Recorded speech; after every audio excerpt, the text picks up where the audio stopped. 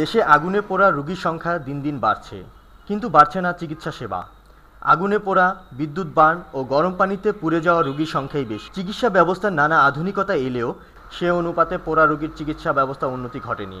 Dhaka medical burn unit সম্পর্কে জানতে চাইলে পরিচালক ডাক্তার সামন্তলাল সেন বিডি হেডলাইন্সকে বলেন, সেই দেড় লক্ষ মানুষের চিকিৎসার কোনো ব্যবস্থা একসময় কিছুই ছিল না এই বাংলাদেশে। সরকারের কাছে একটা আবেদন করি আলাদা একটা হাসপাতাল করার জন্য। অনেক কষ্ট করে অনেক কিছু করে আজকে এত বড় একটা হাসপাতাল প্রায় একশো বেডের হাসপাতাল এখন সরকারি পর্যায়ে। একশো শয্যার এই বার্ন ইউনিটে তিনশো জনের বেশি রোগী ভর্তি আছে। গড়ে প্রতিদিন তিরিশ থেকে চল্লিশ জন রোগী ভর্তি হচ্ছে।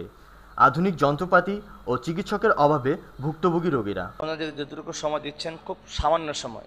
এক্সট্রা সময় যে কথা বলব বসে যে স্যার রোগীটা কী প্রবলেম বা কী সমস্যা কদিন লাগতে পারে? আমরা তো একটু জানি না। ওনার যে সময়টা উনি আসতেছে এখানে যাচ্ছেন ঠিক ওই সময় কথা বলতে হবে। বাড়তি এরকম কথা বলা যাচ্ছে না। এটা প্রতিদিন আগুনে পোড়া রোগী ও গরম পানিতে পুড়ে যাওয়া শিশুদের সংখ্যাই বেশি। বার্ন ইউনিট ঘুরে দেখা যায় আইসিইউ সমস্যা অত্যাধুনিক যন্ত্রপাতির অভাব ও প্রয়োজনের তুলনায় চিকিৎসক কম।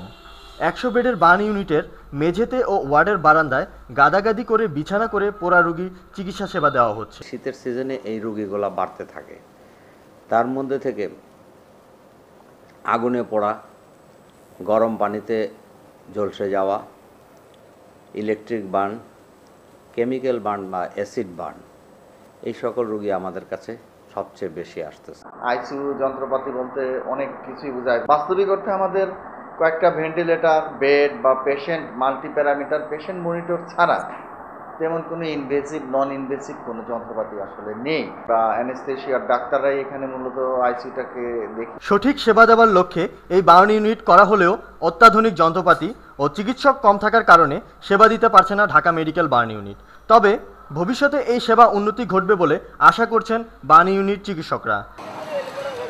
Rakibul Islam BD headlines Dhaka.